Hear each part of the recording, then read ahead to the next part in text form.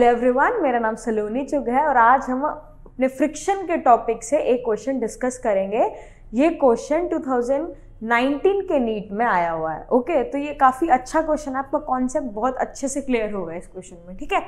देखिए डिस्कस करते हैं। हमारे क्वेश्चन में क्या दे रखा? A body of mass M is kept on a rough horizontal surface मतलब हमें एक बॉडी दे रखी है जो एक रफ हॉरिजॉन्टल सरफेस पे है। Of course rough horizontal surface लिखा हुआ है, यानी कि वहाँ फ्रिक्शन होगी, ठीक है?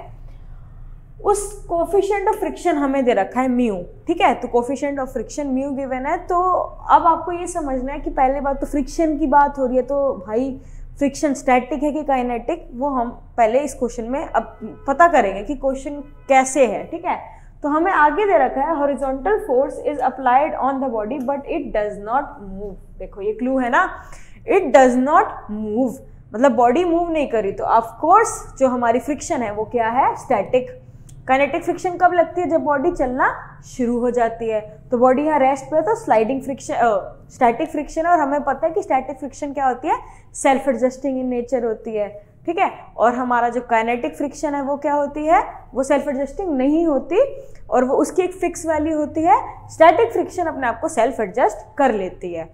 और जो काइनेटिक फ्रिक्शन है, उसको हम ऑलरेडी क्लास में डिस्कस कर चुके हैं, उसको हम स्लाइडिंग फ्रिक्शन भी बोल देते हैं, ठीक है? तो यहाँ पे, क्योंकि बॉडी नहीं मूव करी तो इसलिए बॉडी जो है स्टैटिक फ्रिक्शन लग रही होगी बॉडी पे, ठीक है? तो आगे देखा the resultant of the normal reaction and the friction force on the object is तो जो रिजल्टेंट होगा ना नॉर्मल फोर्स और फ्रिक्शन फोर्स का, वो उस बॉडी पे क्या होने वाला है? ये हमें निकालना है और ये हमारे ऑप्शन हैं, ठीक है? तो ऐसे ऑप्शंस हैं लेस देन इक्वल टू ऐसे भी साइन है तो देख के डरना नहीं है इजी क्वेश्चन है, देखिए हम सॉल्व करते हैं ओके तो क्या दे रखा है हमें? एक बॉडी दे रखी है एम मास की बॉडी है ओके इस पे हमने क्या करा? हमें दे रखा है कि ये रेस्ट पे है, ये बॉडी रेस्ट पे है, ये चल नहीं रही है, ठीक है? चल नहीं रही तो इस पर एक फ्रिक्शन फोर्स होगी, ठीक है? और ये चल नहीं रही, हमने कुछ एक्सटर्नल फोर्स दे रखी होगी ऑफ़ कोर्स तभी तो देखो, हम अब यहाँ से देख सकते हैं, क्या दे रखा है? A body is kept on a rough horizontal surface a horizontal force is applied on the body ना मतलब एक हॉरिजॉन्टल फोर्स अप्लाई कर रखी है आपने। एक्सटर्नल फोर्स आपने अप्लाई कर रखी है बट स्टिल बॉडी मूव नहीं कर रही। अच्छा अब पहले ये समझते हैं कि बॉडी मूव क्यों नहीं कर रही होगी भाई? ये मैंने आपको ऑलरेडी बता दिया है ना कि हमारी जो फ्रिक्शन फोर्स होती है वो सेल्फ एडजस्टिंग होती है। स्टैटिक फ्रिक्शन सेल्फ एडजस्टिंग होती है।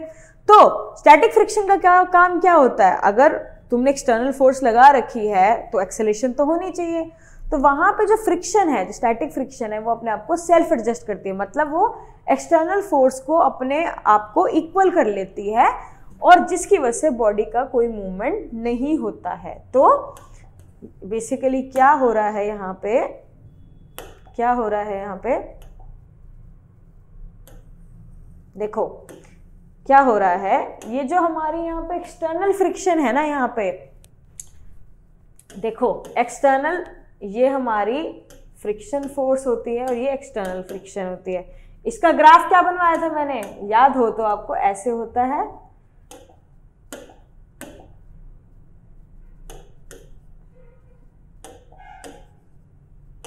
कैसे हुआ ग्राफ ऐसे ग्राफ था और फिर ऐसे था थोड़ा, है ना?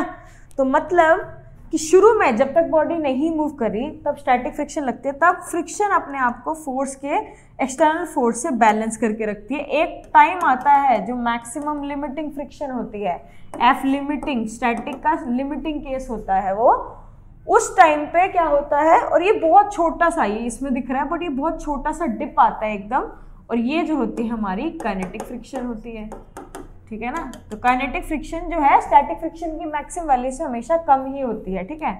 और काइनेटिक फ्रिक्शन का जो कोफिशिएंट होता है, वो म्यू म्यू के इंटू एन होता है, और इसका क्या होता है? एफ़ लिमिटिंग जो लिमिटिंग यानी कि मैक्सिमम वैल्यू स्टैटिक फ्रिक्शन वो होगी म्यू एस इंटू एन मतलब जब तक बॉडी इस म्यू एस इंटू एन के बराबर एक्सटर्नल फोर्स नहीं पहुँचती, तब तक बॉडी स्टार्ट नहीं होगी। तब तक बॉडी रेस्ट पर रहेगी। क्यों? क्योंकि फ्रिक्शन जो है, वो हमेशा अपने आप को फोर्स के इक्वल कर देगी। ठीक है? तो इस केस में यही हो रहा है। इस केस में क्या हो रहा है कि हमारे एक्सटर्नल फोर्स है फ्रिक्शन है। ऑफकोर्स एक्सटर्नल फोर्स जो है, उसको हमारी फ्रिक्शन ने बैलेंस कर रखा है। ठीक है? तो अब हमें हमें निकालना है कि हमारा नॉर्मल रिएक्शन क्या होगा। ठीक है? तो हमारा नॉर्मल रिएक्शन क्या होगा? तो हमें बेसिकली बोल रखा है सॉरी हमें निकालना है कि हमारा जो नॉर्मल और फ्रिक्शन दोनों फोर्सेस का, ठीक है रिजल्टेंट क्या होगा बेसिकली तो आप देखिए फ्रिक्शन जो हमारी फ्रिक्शनल फोर्स है, वो तो सेल्फ एडजस्टिंग है, यानी कि उसने एक्सटर्नल फोर्स को इक्वल कर रखा है। ठीक है तो ये तो ऐसे है, ठीक है बट दिस फ्रिक्शन फोर्स यानी कि this external force is less than of course mu into N है ना? क्योंकि हमारी जो फ्रिक्शन फोर्स है, वो अपनी मैक्सिमम वैल्यू से कम है इस वक्त, है ना?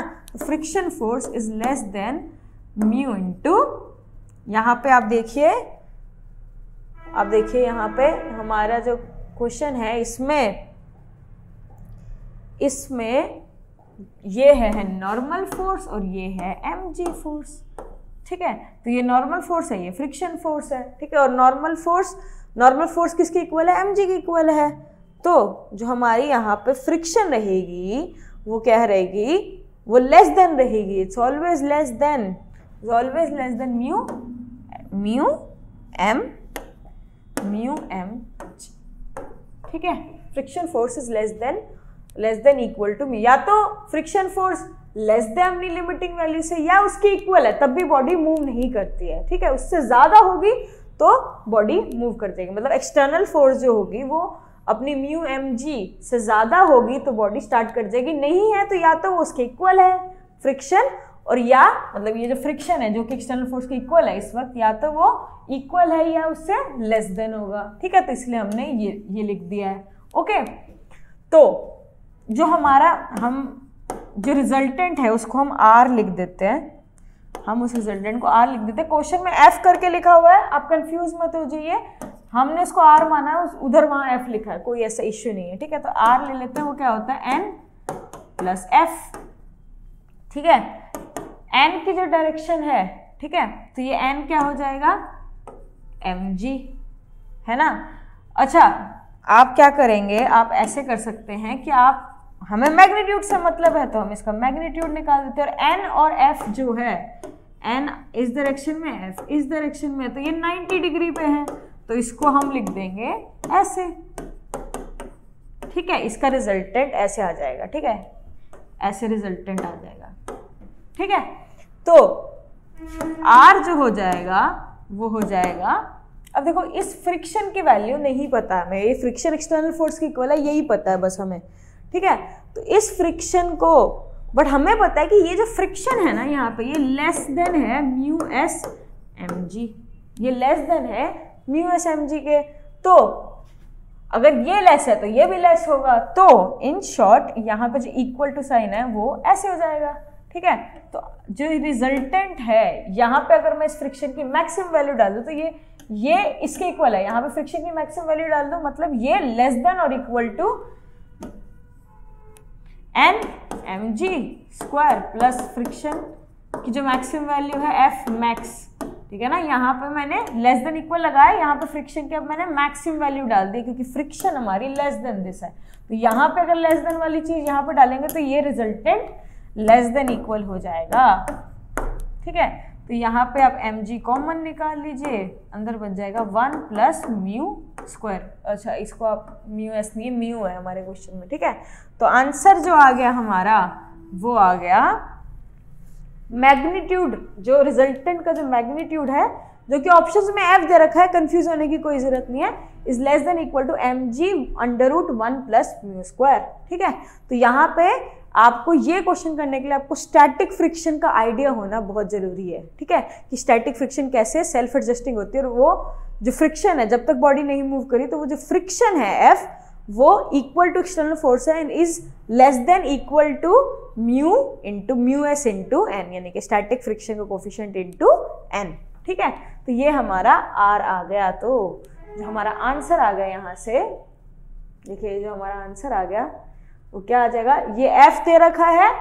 ये एक्सटर्नल फोर्स वाला एफ़ नहीं है, ठीक है? तो कंफ्यूज होने की ज़रूरत नहीं है। ये क्या एफ़ है?